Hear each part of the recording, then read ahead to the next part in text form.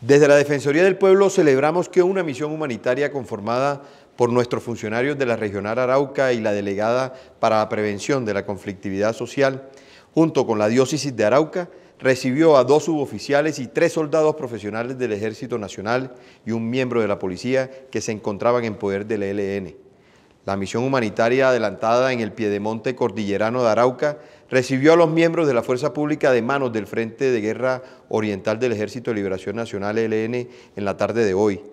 Desde la Defensoría del Pueblo destacamos el regreso de los miembros de la Fuerza Pública con sus familias y reiteramos que nuestros canales humanitarios seguirán abiertos para permitir el regreso de todas las personas que se encuentran en poder de los grupos armados ilegales, con el ánimo de seguir consolidando las labores que conduzcan a la búsqueda de la paz que tanto anhelamos.